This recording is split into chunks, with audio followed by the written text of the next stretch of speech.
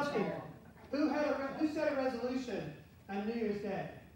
Raise your hand. If you had a resolution, you don't have to say it. You don't have to say it. And today is January 12th.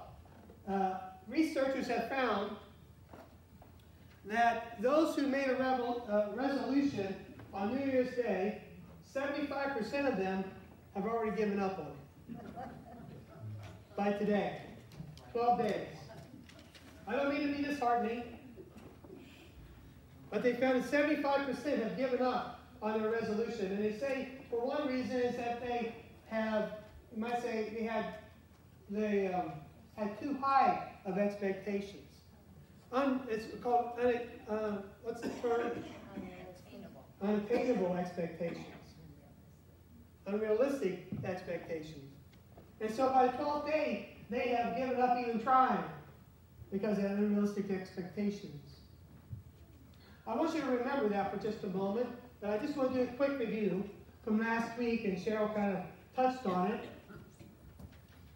In the story of, Michelangelo in the forming of taking this block of marble, and while many other artists and many other professional sculptors had given up on this huge slab of marble, then Michelangelo said, I, I see something beyond the marble. I see something inside the marble.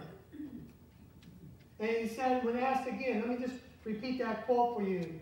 He said, in regards to someone who asked him, How did you do such a beautiful job with the statue of David? What did you do that this beautiful, this ugly piece of marble is now this beautiful statue? And he said, In every block of marble, I see a statue as plain as though it stood right before me, shaped perfectly in attitude and action. I have only to hew it up. I only to take the rough walls away. That's imprisoning this lovely image that I have in my mind. He goes on to say, he just cuts away everything that doesn't look like the image. All of us are works in progress. Amen? Now, let's apply that to the spiritual life. All of us are works in progress. We're not finished, as the earlier chorus talked about. We still have much work to do. And I know I left you kind of hanging last week when talking about transfiguration, the transfiguration and the transformation. Remember the word, the English word that we use for those two words? The word metamorphosis. It means that a metamorphosis, like a butterfly from a, from a cocoon to a butterfly, or from a tadpole to a frog. This transformation or transfiguration that God is speaking about in Romans chapter 12, to be transformed in your thinking, in your mind, to have a new attitude, a spiritual attitude. It's a gradual change on the inside that produces a total transformation on the outside. So to truly grow in Christ, something has to begin to be transformed inside. I mean, I can always put on nice suits and ties. I can put on good shoes and nice, you know, really look spiffy like you might see on TV. Have gold watches. but that means nothing. Because it's the transformation takes place on the inside. I've seen some people dressed very poorly that have a rich spirit. I've seen people dressed maybe even look like they were bums, but yet they said God is still good. They would talk about how God has been with them and, and answered prayers for them. And so I want you to understand that transformation needs to take place if we're going to grow in Christ. And uh, the title again says, Lord, please change me. We need to understand that the change begins from the inside and works its way out. And that's how we are transformed into the image of Christ. You'll find that in Romans 8 29. Paul saying, hey, God has already predestined that we should be made in the image of Christ. You know, you, well, no matter where you're at in your spirit, God's plan for you is that you would be the image of Christ, be the image of his Son. So when people see you, they will see Christ. As as earlier mentioned, that we are hands and feet. That they would see the hands of Christ. That they would see the face of Christ in us. That's where transformation truly begins to take place. That's where the change truly begins as we allow God to change us. So how does God do this? How does God change us? It comes, it kind of leads us into we must reprogram our minds. Now, what is our biggest struggle? Who's our biggest enemy? Who would be our biggest enemy to deal with every day? Ourselves. Ourselves. We are our biggest enemy in regards to transforming into the image of Christ. But I want to do a little historical correction here. Because, you know, we've heard the story, the quote, we, might, we have met the enemy and the enemy is us. But the original quote comes from Lake Erie, the Battle of Lake Erie. Army General William Henry Harrison. After he, after he, when he won the war, he won the battle, this is what he said. He said, We have met the enemy, and they are ours. Wouldn't it be great as, as believers if we could say, We have met the enemy, and we've defeated it? The enemy's ours. We've taken possession of it. They no longer have power over us. And so I began to embrace that quote. We have met the enemy, and the enemy is ours. I'm not going to allow. So we have to rethink the way we think. I'm not going to allow the, uh, the enemy to discourage me. So we must renew our minds. And that requires, you might call it reprogramming. I'm using modern terminologies. It requires kind of like a rebooting of the way we think. Uh, Charles Ryan in 1972 came out and he said he, gave, he came out and he came out with a formula about how this transformation can take place. And it was T plus HH equals SG. The T is for time. The HH is for habits of holiness. We call them spiritual disciplines. And then the SG equals spiritual growth. To understand that spiritual growth is a process of time. Because we have our own, the enemies that we deal with every day, our habits, our behaviors, have a tendency to come back and haunt us. And so we have to fight that battle again. And it takes determination to develop those spiritual habits, those holy habits. I want to share with you John Wesley's spiritual, some of those spiritual habits are, or holy habits are, prayer. Prayer is a holy habit. Bible study is a holy habit. And I know this has probably been my, my biggest struggle, journaling is a holy habit.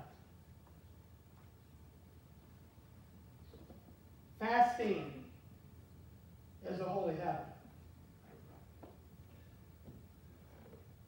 Taking communion, sharing communion is a holy habit. And lastly, witnessing what God has done is a holy habit. Let me tell you some of his habits in regards to prayer. Wesley, Wesley would spend time at the beginning of every day in prayer for two hours. He also liked to say a short prayer every hour on the hour throughout the day. And would begin every important action with a prayer. In Bible study, he would use his travel time on horseback to read his Bible. He loved Scripture so much, he said, I want to be a man of one book. And he knew the Bible very well. He would win Bible quizzes, Bible trivias today. Now, this is where he puts me to shame in journaling. He used a daily journal to record his experiences, and his conversations, and often kept a separate daily diary to list how he spent each hour of his time and the different temptations he faced. These will all be in his journal, and he had volumes of journals.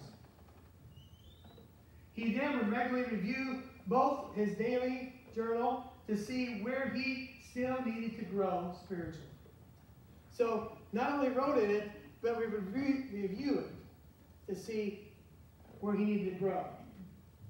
And in fasting, Wesley had a weekly rhythm of fasting breakfast and lunch every Wednesday and Friday. He would also occasionally go on longer fast and pray for something specific. I want to ask the question did that just happen? Did he just all of a sudden wake up and said, I'm going to start praying for two hours in the morning? Did he just say, okay, I'm going to start studying my Bible like it's no other book? I'm going to start writing in my journal every hour on the hour of what God is doing in my life. You think there was something that he just decided to pick up and start doing in one day or a week? It was a process of time that these disciplines began to take hold of his life. So I want you, as I begin to talk about this renewing of the mind and this rebooting of our thinking, and that God is willing to work with us in renewing our minds, transforming them from the inside out. To not be discouraged in the 12 days, like we have been in our resolutions. To know that it will take time. It's like the man said yesterday in the radio. If your resolution was to pay off a $40,000 loan in one year, then you have, you have high expectations, and unrealistic expectations if you think you're going to do that in one year. It will take 10 years, depending on what you plan in your budget to do. it. And so in regards our spirit as well, sometimes we set unrealistic expectations for ourselves, and you start saying, well, I'm going to set a resolution, I'm going to make a resolution and a commitment to God to pray for two hours every morning. And within four or five days, it's like, I don't know, I think I'll stay in bed a little longer. And you start looking at your watch and saying, nah, it's been 30 minutes, that's good enough. And then before you know, you say, next up on the fifth day, you say, oh, 20 minutes should be good. And then you start thinking, you know, I failed at this, so I'm just going to give up. But I want to encourage you that when you start out on a spiritual journey, God is there to carry you too. It's like that the many times I showed the video of Redmond, the story of Redmond, when he, he pulled his hamstring while running in the 440 Olympics, and his dad runs out there on the track and brings him to the finish line. When he reached the point that he couldn't do it himself, the father comes out on the track and begins to take him toward the finish line. That's the way God is. He sees, He knows where we have weaknesses. He knows there are areas where we have struggles in. He knows we may not be up to two hours a day. He may say, okay, start with 20 and work your way up. Or how about journaling? Maybe just journal once a week. Start with once a week. And try to add a little bit each time. And I know many people like to read through the Bible every year. And even now they have yearly Bible readings that it makes it much simpler to cover the Bible throughout the entire year. Fasting is where I believe that the devil really attacks us when we try to fast. Because so many times that's where we fall short.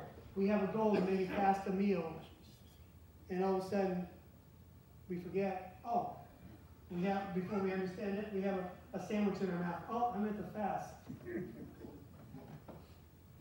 Okay, I'll just finish the sandwich then. But I want you to know, and the next equation that, that's there, it's capital T plus capital HH plus capital GE equals SG. Now what can that SG mean? We just talked about GE stands for godly encouragement. Equals spiritual growth in Hebrews chapter 8, chapter 10, verse 25, Paul writes that do not forsake the assembly of others. Now, people say churches and we try to do our best as pastors. And I, I try to make it something that you can take home and remember, something applicable for you, how you can grow in your spirit, something that you can apply to your life, that you can leave here saying, I, maybe I can apply this this week to what I've heard this week. And we also find encouragement. How many times have you come needing somebody to say, you know, I can tell you're not having a good day, or you've had a bad week. I've heard your story, and you need encouragement. You see so many people say, well, I don't need church. I have to live my Christian life without church. What you're missing out is the spiritual encouragement that comes from church. The people, uh, hear this, people in church, we are not here to discourage people. Although some in churches have taken that on as some sort of discipline. But we are here to encourage people in their growth. Yes, they may not be where you are at in your spirit. You hear me on that? We may not be where they're at, or we may be ahead of someone else in our spiritual understanding. That doesn't mean we gloat over that and say, well, I wouldn't be doing that. I wouldn't be saying that. We are to be people who are encouraging one another, lifting each other up in the church. And that's where we also find our spiritual growth. You share your prayer concerns with us.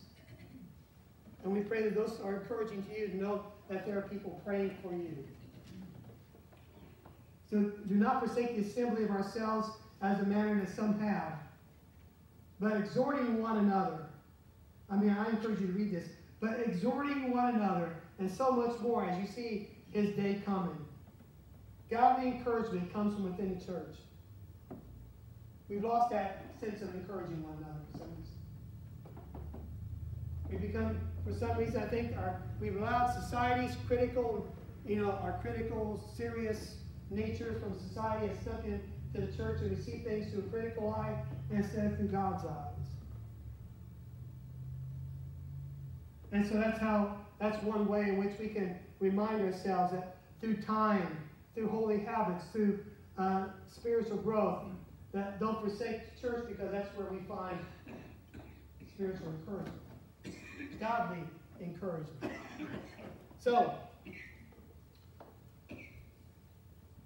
Romans 12, verse 2 says, Teach us spiritual metamorphosis. That God intends that we will slowly but surely be transformed from the inside out. That we will slowly be transformed by the chipping away of the old self. Remembering that God has an image of Christ in you already that you don't even see. Imagine that. God has an image of Christ that you don't even see yourself. And he's saying, if you work with me, we're going to work together and we're going to get that image of Christ if you allow me to chip those things away in your life. We're going to begin to see that image begin to become more and more vivid. And others will begin to see that image more and more vivid. So it will not happen by accident. Let me, let me share that. Walking out the door, all of a sudden, God will not just all of a sudden, boom, I feel like praying for two hours. I feel like reading my Bible. Remember, it's not going to happen as you walk out the church. It's going to, it's not happening by accident. Let me just share that. It does not happen overnight. It cannot happen without the Holy Spirit with His help. It happens when you make a personal commitment to it. Now, isn't it interesting? We can make personal commitments to various things in this world. But when it comes to God, we're very lax in making serious commitments to God. It happens when, as we become more what God made us to be. It happens as we behold the glory of Christ through worship and through our times of devotion. This is how the mind is renewed. This is how the mind is renewed. It won't happen. I wish somebody would have preached this when I was younger. I would beat myself up so much because of many times I failed. In all these disciplines, fasting and, and the devil would say, Man, you're a terrible Christian. Oh no, that's how he gets us, you know. I wish someone would have told me, Ellie, you know, it's not going to happen by accident. It's going to take some time. It's going to take some effort. You're going to stumble. You're going to fall sometimes. But He's there to help you get back up and get you on your way again through His grace. It's not going to happen overnight, Ellie. You're not going to become this super Christian as some people think they are. It's going to take time for the image of Christ to come out in you. So just allow me to chip those things away. Be obedient to what I'm sharing with you, he said. He would, he would share with me. Isn't it great that you can begin today knowing what, how the devil's going to discourage you? You can leave today knowing that he's going to say, hey, you're a failure. You're a failure. And you can go out saying, no, I'm not. It's just going to take a little more time. it's just going to take a little more time. So, as you begin to embark on your great adventure, and allowing God to transform your thinking, I want you to go in thinking it's not going to be easy. I don't want you to think it's going to be easy. I want you to know it will be a battle. It will be a struggle. And what's the old saying? Nothing worth, if it doesn't take something effort, it's not worth making the effort for. You know? I mean, I think about the effort he had to go through to get to college, to study hours after hours after hours, staying up till 2 o'clock in the morning and taking a test at 7, going on a little sleep. But it was worth it when it was all over. And that diploma was handed to you. But the same thing's for all of us. When you begin to make that effort to grow in your spirit, there's going to come a time when you stand before God and you say, man, the effort that we worked together on was worth it. It was worth it. I'm glad I put that extra time in prayer. I'm glad I put that extra time in studying the Bible. I'm glad I put that extra time in witnessing. I'm glad I put that time in going to church and, and getting to know people and being encouraged by that. I'm glad I put that time in.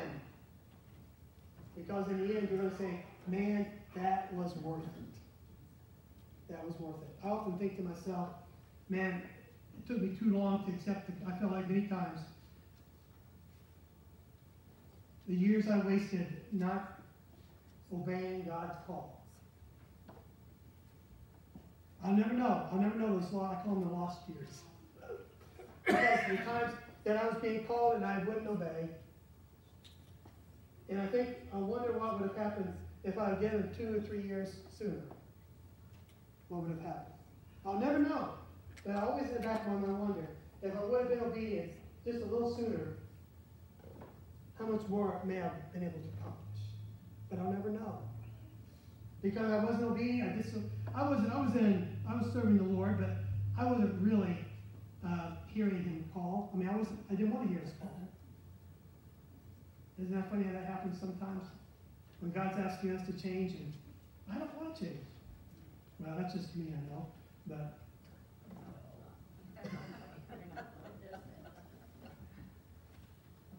But I want to, you're embarking on a great adventure, and I want you to know that. There's a Ruth Graham is buried, and she engraved something very interesting on her gravestone. In her on her stone, she says, "This is the end of construction. Thank you for your patience." On her gravestone. End of construction. Thank you for your patience. Do you hear the faint sound of God chipping away at you? Do you feel the sense of God's Spirit? Maybe just bringing something to mind that maybe chipped, may, may need to be chipped off, sanded off. You want to use a, a carpenter's term to sand it down. or hammered out, or saw.